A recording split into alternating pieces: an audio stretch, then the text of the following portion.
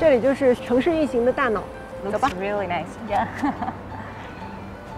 As soon as I walked through the door, the atmosphere of technology was overwhelming. I was thrilled about what we were going to see. Wow. oh my wow, that's so impressive.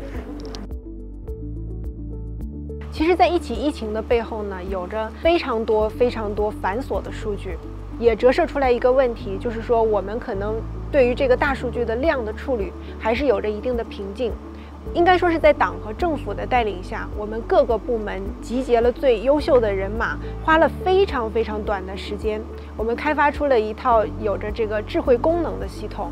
Uh, with all this technology equipment, what is the kind of improvement that you can see in your daily work? 数据量很大，然后我们要处理的工作很多，实际上会一定程度上影响到我们的工作效率。那个时候，我们所有的这些人，包括后面的这些人，几乎每天都是对他们基本上都是凌晨三点、凌晨四点点才能够睡觉。对对对，我们的床都在办公室里。是的，是的。你们很辛苦。啊，我觉得做疾控呢，其实最重要的三个字叫先进性。我想就是因为这个，也有了我们徐汇区的这个承运中心的大屏，其实也是体现的是党和政府的先进性和前瞻性。正是因为有着这种未雨绸缪、提前计划，用科技的手段去辅助防疫，才能够让我们大多数的病例发现的时候，我们要做的工作也不会乱，也不会错。